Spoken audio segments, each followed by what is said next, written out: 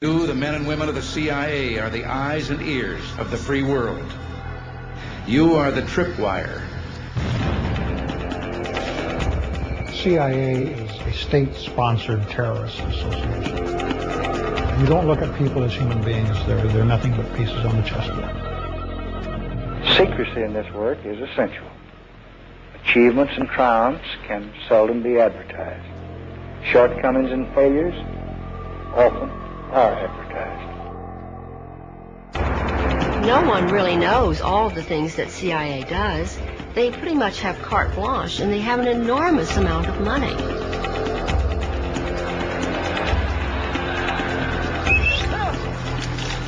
You know, maybe I'm overly naive, but I don't see what would be wrong with that. Now, we need more intelligence, not less. We must not diminish our intelligence. The CIA is not really an intelligence agency. It's a covert action agency. The CIA has been involved in assassination and torture behind the scenes all through its history. The Cold War is over, but many new dangers have taken its place. The decisive advantage United States intelligence provides this country is therefore as important as it has ever been.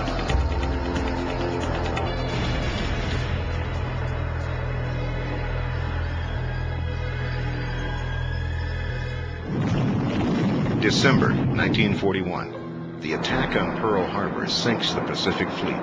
Military intelligence is in shambles. The dawn attack becomes the crucible on which the modern spy culture is born.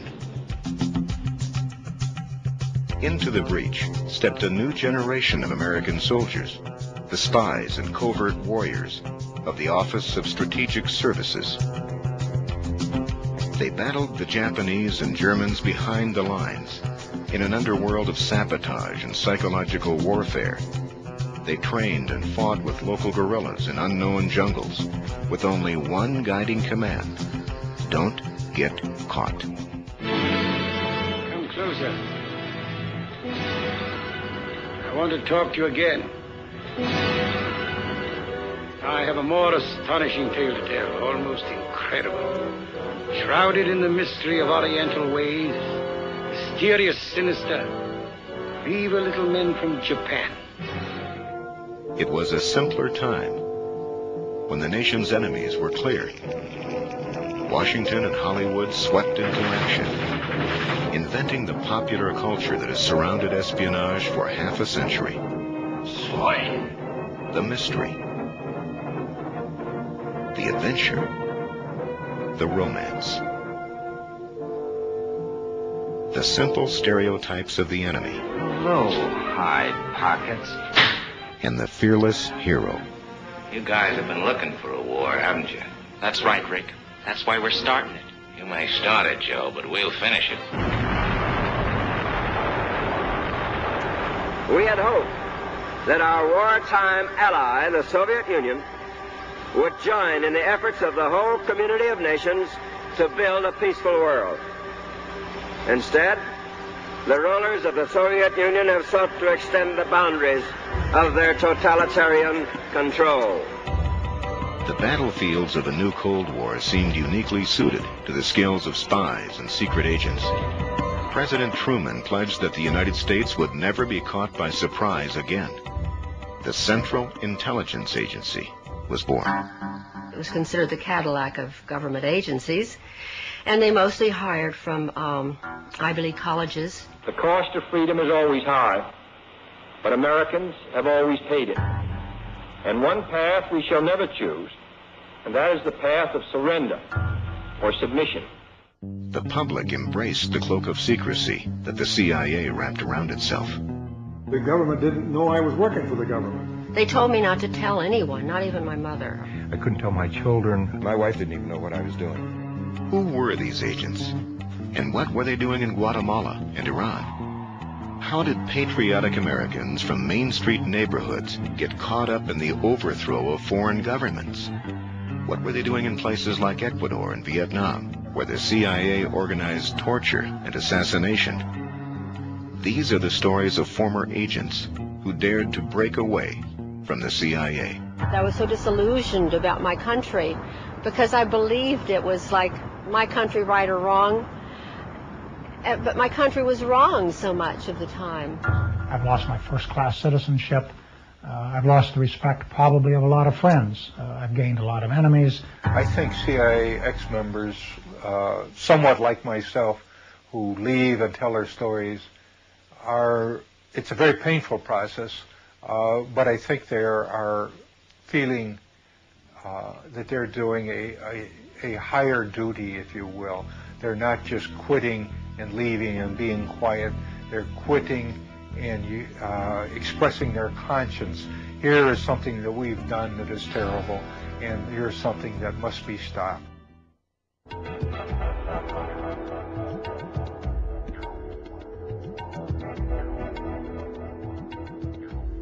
I played four years of football at the University of Notre Dame, and we were undefeated for all four years, three national champions, and I was the first team right tackle. So uh, once when I was cut from the uh, Green Bay Packers, uh, I was recruited by the agency, and I kind of wondered why they recruited me. But um, when I got to the agent, got down to Washington, I found out that most of those in my class were rejects from the National Football League. I went to an interview at the Chicago courthouse by a man who didn't identify himself or the agency uh, that he was recruiting for, and um, he said that the what I would be doing would be involved in fighting communism. 800 million people, one third of mankind, exist under communist tyranny without the God-given rights of freedom and human dignity. At that particular period in 1952, this was uh, this was so much a part of our, our everyday life. And I said, oh, yes, I very much wanted to be a part of it, very proud to be a part of it. My career in the agency uh, began in 1952, and I stayed in the agency through 1977. In the entire 25 years, I was in the Director of Operations, or also known as uh, the Dirty Tricks Department. My second tour in Thailand was probably the most important, where I was assigned to work with the provincial police, which is a 50,000-man national police force, in developing an, uh, an effort to counter the growing insurgency and to gather intelligence on that insurgency. And the program there was to interview or interrogate everyone uh, in the village uh, over the age of, say, 12. And in the process, we found out that the uh, Thai Communist Party was much larger, much more active, much more effective than had ever been reported before. My initial reports received glowing uh, commendations from everyone. And then all of a sudden, the program was shut down and I was sent home, and I couldn't understand this. I know now why they didn't want this information to be reported because if they acknowledged that the Communist Party in Thailand consisted of thousands of organized villagers, then they would have to have told the same truths about the communist movement in Vietnam, when the uh, the strength there of the communist movement was in the millions. Uh, and if we had ever admitted that, there would have been only one solution to what was going on in Vietnam, is to shut down uh, the war and come home. We could not win. Men of the 101st Airborne Division land in Cam Ranh Bay. Intelligence on Vietnam was doctored to support the ongoing war there, and I could see that the situation in doctoring intelligence was universal. Now these reinforcements head for where the action is supposed to be. For according to current policy, the emphasis is to be on direct combat rather than on advisory duty wherever the agency had a uh, covert action role or a policy role to implement, its intelligence was distorted, shaped, created to support that policy. It was, in many, many cases, it was nothing but fiction. I think the worst thing I was involved in was the Phoenix operation in Vietnam, a uh, countrywide assassination program. I was part of it. This was a, a program uh, started by the CIA, funded by the CIA, recruiting people for the operation, training them to go out and kill or capture the Viet Cong. I came to realize later that we were shooting fish in a barrel, that, that most of the Vietnamese supported the other side and we were the intruders and the Vietnamese were fighting for their own liberation from foreign domination. I went out to Vietnam to help save Vietnam for democracy. And when I saw photographs of the children bombed and napalmed and burned by operations, uh, this caused for me a tremendous um, trauma. And I, for a number of months, contemplated suicide as my only out. Uh, this, uh, this, of course, uh, was never. I finally got over that uh, effort and thought, well, what I should do with my knowledge is try to bring this knowledge to the American people so that that uh, there won't be further Vietnams, there won't be further abuses. And uh, since that time, I've dedicated my life to exposing the agency. The CIA called him an analyst with few peers. Well, upon leaving the CIA, this man wrote a book about it called Deadly Deceits. And now he has compiled a one-of-a-kind database resource on the subject called CIA Base. Please, a big welcome for Ralph McGehee. I feel that I am doing what I should be doing, and in that sense I'm happy. I am not happy in the sense that no amount of um, criticism of the agency, no amount of revelation of its uh, dirty deeds, no amount of uh, exposure of the weaknesses of the agency has weakened the CIA, but I do feel that at some point all of this is going to be impact on uh, the uh, awareness of the American people, and at that time uh, there will be a, a, an attack on the CIA.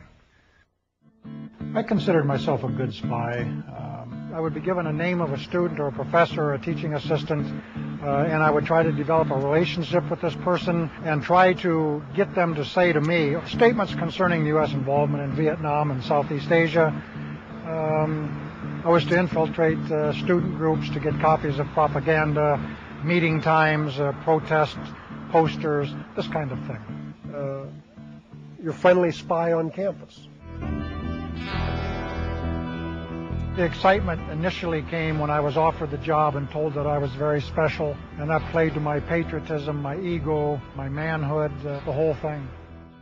It was 30 years ago, almost this month, that um, I was a senior on the Iowa State University campus, ready to get my aerospace engineering degree, and wondering what I was going to do in light of the nation's deepening involvement in the quagmire of Vietnam. There were anti-war demonstrations on college campuses and in cities from Los Angeles to Washington.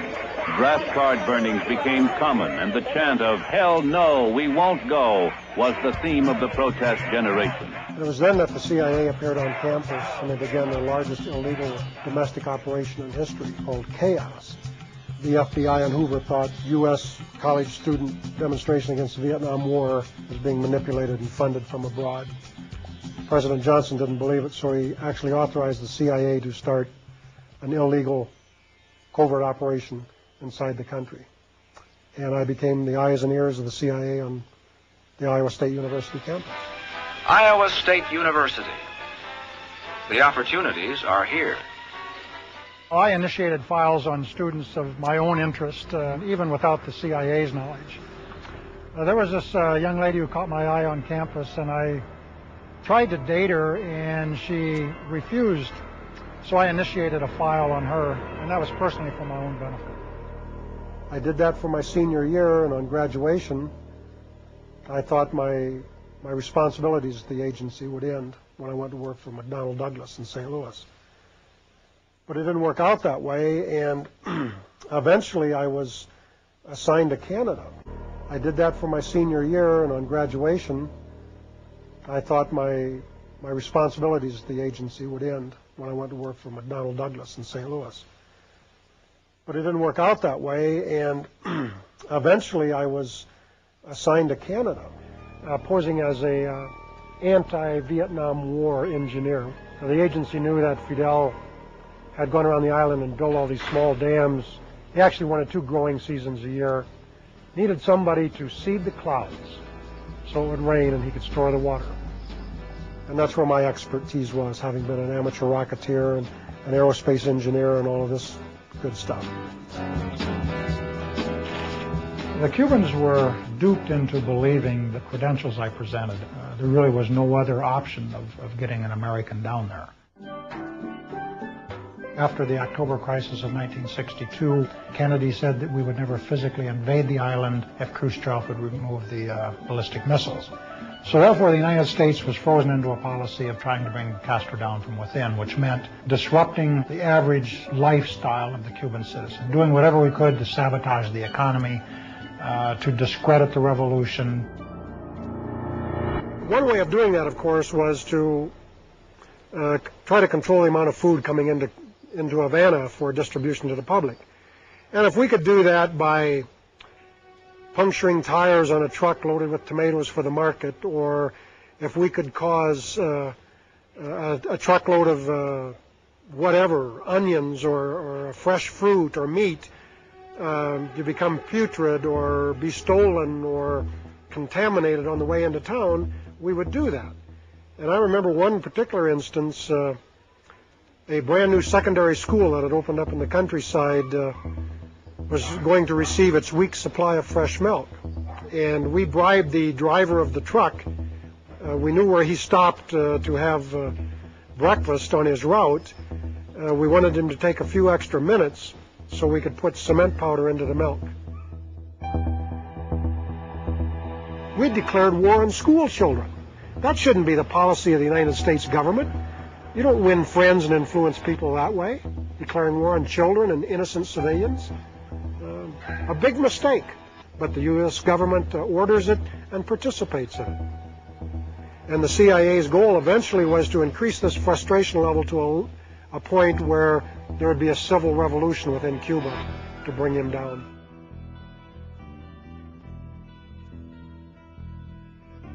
I think from almost the, the outset I had reservations about what I was doing in Cuba. Uh, and that's because, just in general, I didn't enjoy harming people. Uh, and I didn't know the Cubans at the time, so I would rationalize myself that, well, this was in the best interests of my country. But as I got to know the Cuban people uh, personally uh, and ended up getting married uh, to a Cuban, um, I started to change my attitude toward them very quickly. I think the most frightening thing that ever happened to me in Havana was when the Cuban counterintelligence people uh, actually decided they had enough, and they came to my house and detained me. And eventually I was arrested and accused of espionage, even given a fake firing squad. And in spite of all the training I'd had and all the instruction I'd had that you don't get shot, uh, you may be tried, there'll be a lot of publicity, you may be even be imprisoned for a while, but eventually you'll be released and exchanged. You forget that when you're actually facing those rifle barrels and you're in a foreign country with no diplomatic uh, mission and nobody there to speak for you. Uh, your knees tremble and uh, you lose bladder control. Very scary. Now, hindsight is is something I think we all enjoy, and I just wish we could we could switch it around and use it as foresight. But in hindsight, yeah, if, if I could go back and change things, I'd have to go back uh, 30 years to 1965 in my senior year and refuse the offer that was made to me by the CIA and take my chances with the draft um, and have pursued my engineering career. Uh, it certainly would have been a better life than, than what I had. Uh, I wouldn't have the memories that I have uh, of the things that I've done to people and countries. Uh, and all of it in the name of the United States and under its flag. For many years, I didn't even tell my friends I worked for CIA because I was embarrassed. It's colored my life. It always will. It's like a shadow that falls over my life all the time. It's, I still, if I say anything against them, I turn around wondering if I'm being followed.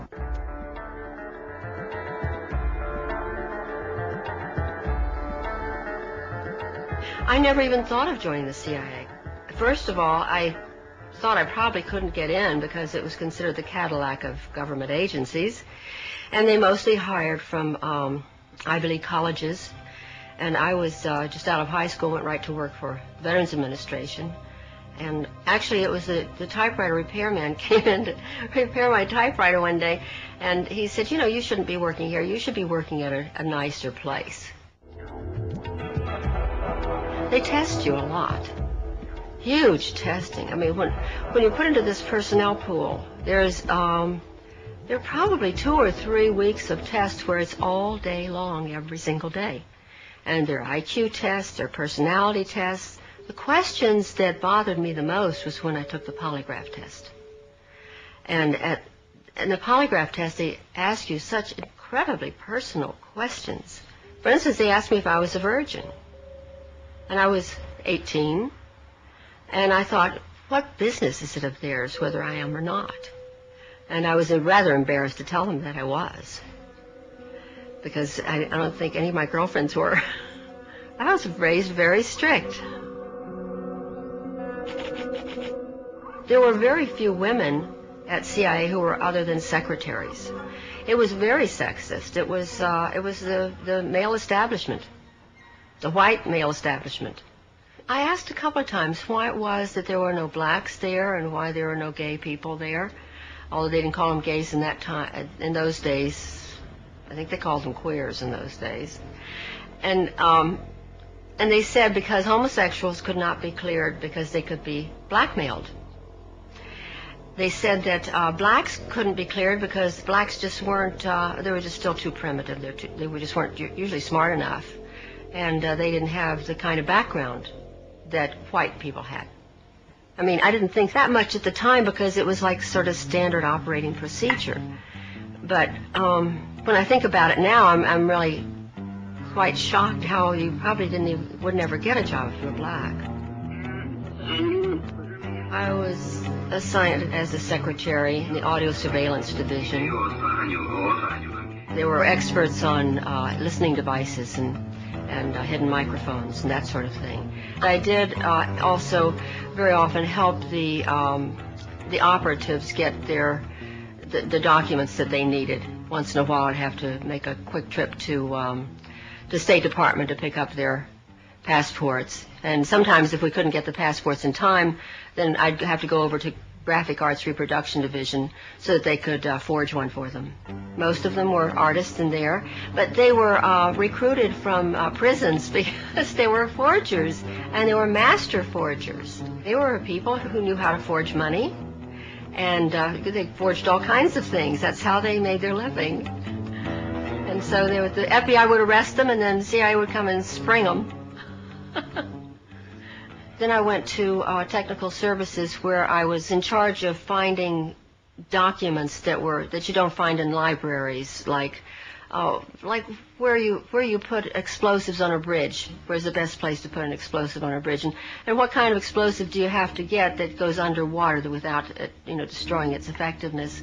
Uh, also, I had to find one time they wanted me to find um, to find out if there was such a thing as um, as a poison that was undetectable, especially one that seemed to uh, mimic a heart attack, that would kill someone, but it would appear that they had a heart attack. I did find such a thing.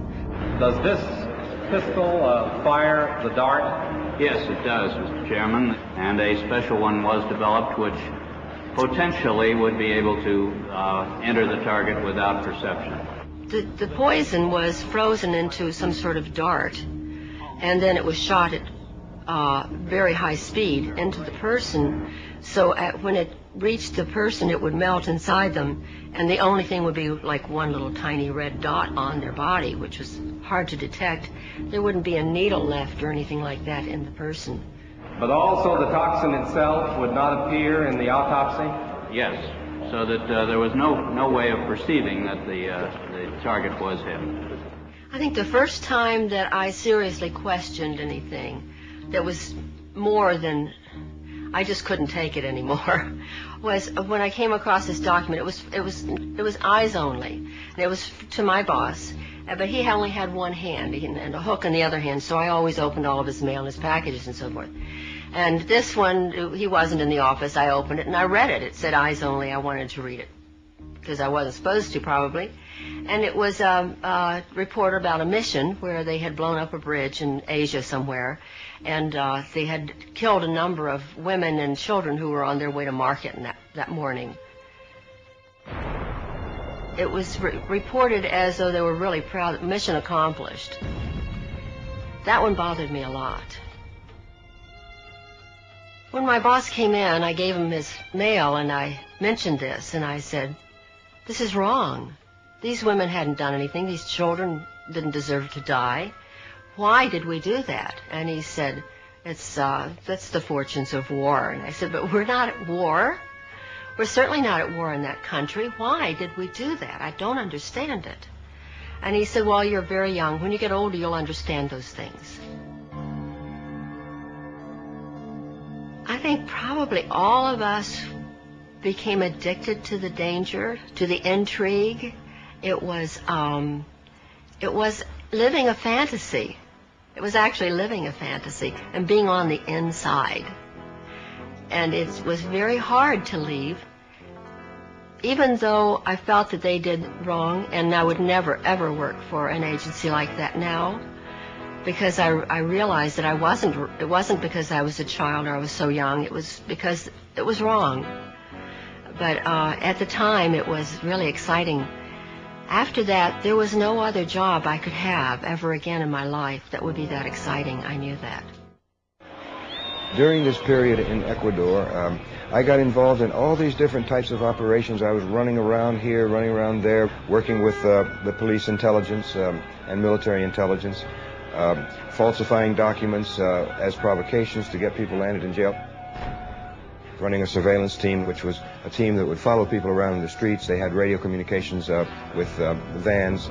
It was very exciting at first. And you had, at 25, 26, 27 years old, you had this sense of, of um, power, in, which is intoxicating, really, for such a young person.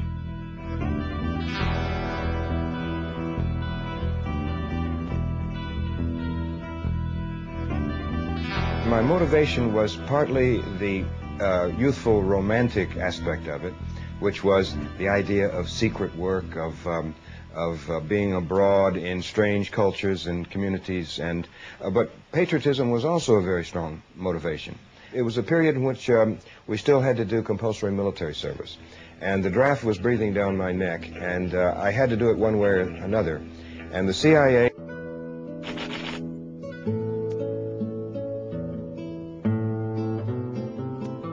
I was sent down to Quito, Ecuador, where I worked for a period of three years.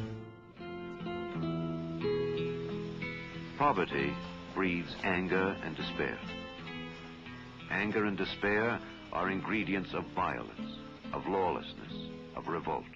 And our job was to squelch or impede the influence of the Cuban Revolution throughout Latin America because the Cuban Revolution had such an impact in uh, Latin America. And in practically every Latin American country, there were people who went into armed struggle at that period to emulate the Cubans, hoping that they too could uh, overthrow the traditional ruling power structure in their countries, in which very few families controlled the land and the wealth, and that meant that a very large proportion of the population was marginalized. They didn't count.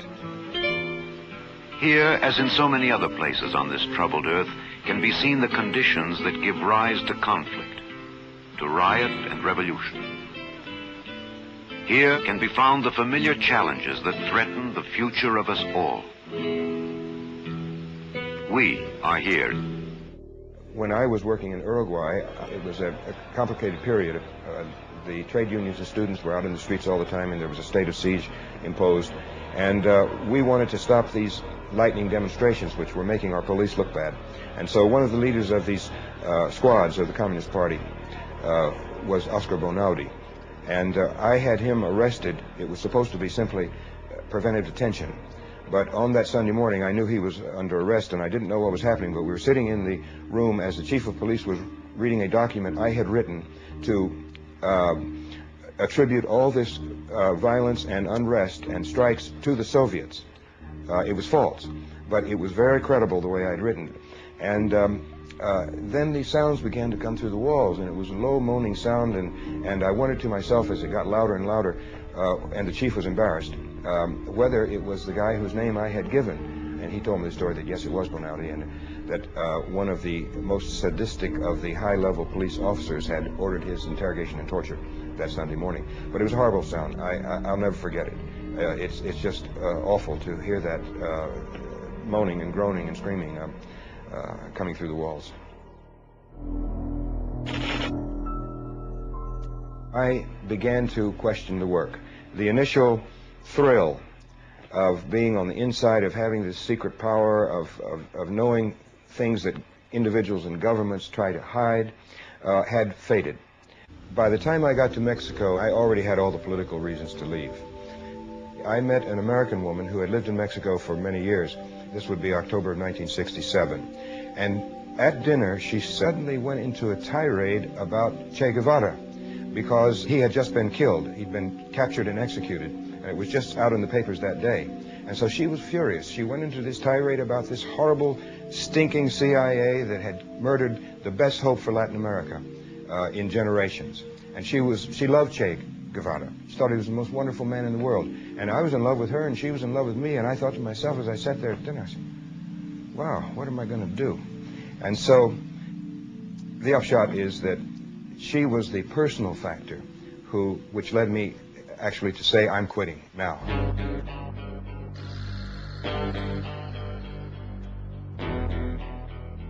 The case against the CIA has always lacked information on how precisely its officers set about their covert action. Philip Agee, now living in Cornwall, was such an officer and his diary, to be published by Penguin in the next few weeks, gives his version of what life is really like inside the agency. He names every officer and agent he's ever met and describes the CIA man's work in daily detail. Why should I be delicate with them? I don't expect any any uh, any quarter in return, because this is part of the conflict that's going on in the world right now. The CIA is enforcing American economic exploitation, and people are dying and people are starving because of this system. In actual fact, what had happened is Henry Kissinger had intervened secretly with the British government to force them or pressure them to uh, deport me and to cause me all these problems because not only was I deported from uh, Great Britain, but that was followed by a kidnapping and deportation uh, by force from France plus uh, Holland and Italy and Germany and Norway would not let me in. And so over a two-year period, they were constantly pressuring these governments, which had no propagation from me at all. So uh, they tried very hard uh, during a period of time in the 1970s to stop my work, but I just continued, got on with my life, and um, uh, achieved stability in Germany. And um, now, in the last seven or eight years, I've been coming frequently to the United States, and I think I've been in practically every nook and cranny of the country at hundreds of meetings, uh, political rallies, and university lectures over these last eight years.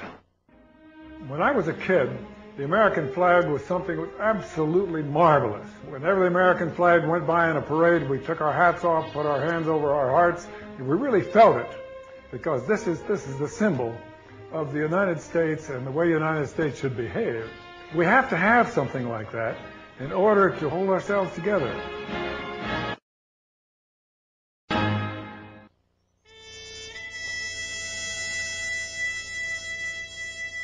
In those days, the Depression was really seriously affecting everybody, and me too.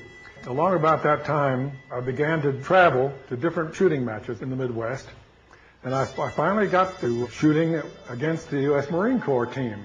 And I used to beat the Marines, every one of them. And, and the, the captain of the, of the Marine team came to me and said, son, he said, have you ever thought about enlisting in the Marine Corps? And I said, no, Captain, I never have. And he said, he said, well, I tell you what, if you would enlist in the Marine Corps, when you're finished the training in Parris Island, I'll see that you're assigned to the Marine Corps rifle and pistol team. Said, geez, you know, I'll be, be getting paid for shooting. I, I was scared stiff, of course. And we went up there and went in the the uh, the Commandant of the Marine Corps' office. So he said, this young man is, is, is a specialist in marksmanship training, and we would like to commission him in the Marine Corps. I said, commission? Oh my God. He says, we've never done anything like that before. The commission man from civilian life. He said, well, sir, I think this is the time to do it. He scratched his head. He said, I think you're right. Young man, you're a second lieutenant in the Marine Corps. I said, oh my God, this is terrible. I went through World War II as an officer of the Marine Corps, came back, and one night the doorbell rang, and I went, here's a Natalie dressed man in his, his uh, nice suit and a snap-brim hat, and he said, uh, may I come in? And I said, well, I think you better identify yourself. Uh, who are you? Well, he said, I know who you are, and you've been recommended very highly to, uh, to our organization. I said, what's your organization? Well, I'm not at liberty to tell you what the organization is. And I said, this is crazy. So the, he I said, well, come on in. He was a little guy, and I thought I could handle him pretty well. And they said, you have been, you have been accepted in our organization, and we want you to go to Central America. And I said, what? Central America?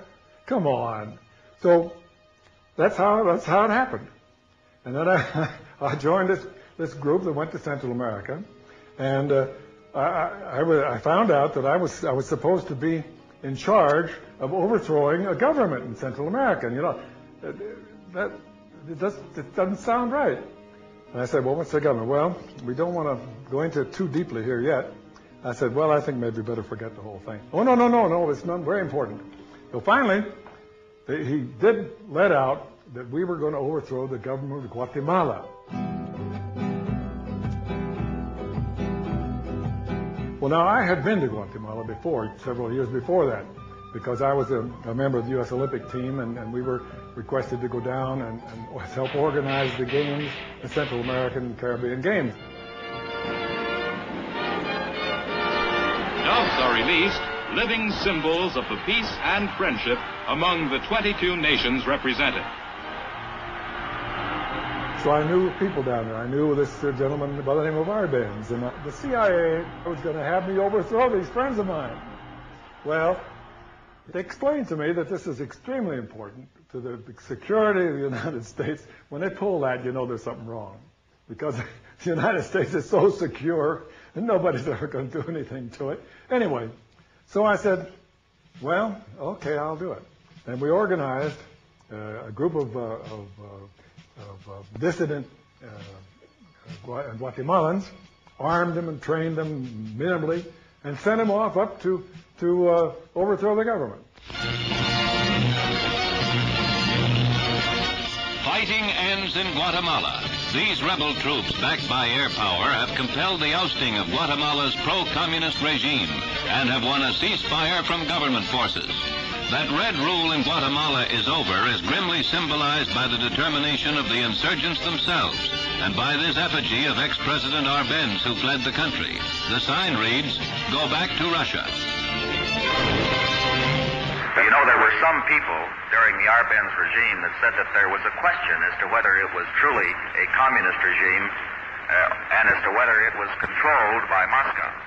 Uh, we have here the proof that there was no question whatever. There was no doubt at all.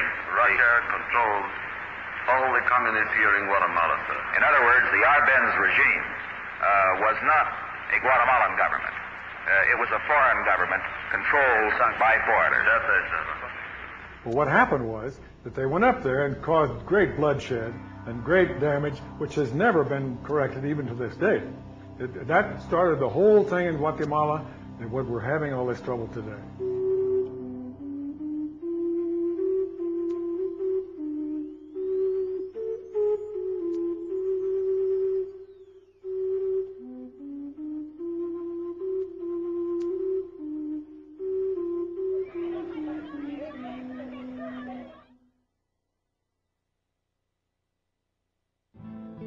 The only thing that can be done, of course, is to, to work with our Congress because everything that happens in Latin America or any place else in the world begins in our Congress. Now, look, are you in favor of, of killing somebody that you don't know? Are you in favor of torturing somebody? Are you in favor of, of locking people up in, in, in, dungeons and things? Are you really in favor of that? Because I don't think you are. And I, I think I can get that across pretty well if I get a chance to talk to them like that. I feel that uh, because of the problems that I went through, the realizations that I came to, uh, the efforts that I've taken to counter, uh, people may call it this monster, uh, that I am contributing so much now that I could not have contributed had I not joined the agency. There's no way I can make amends, uh, but certainly helping in this effort to expose uh, the abuses of our intelligence services, uh, perhaps in some small way, will, will help pay that debt.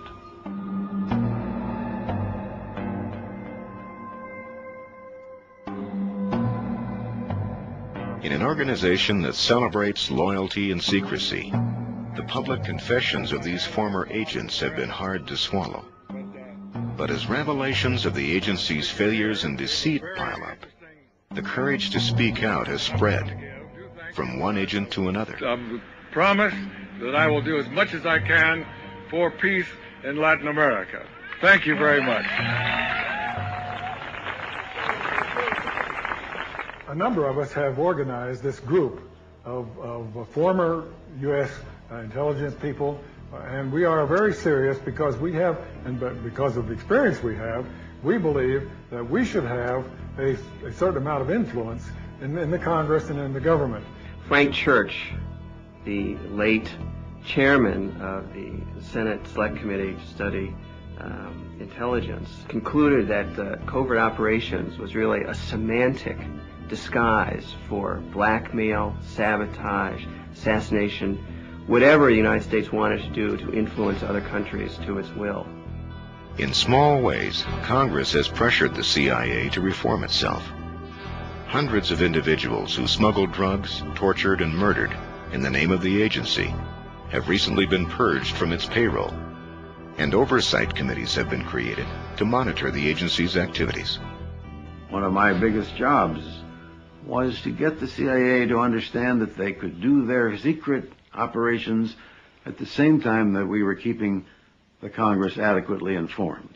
Wasn't it easy to overcome that dichotomy because the CIA people just assumed that if you told the Congress it was all over the newspapers the next day.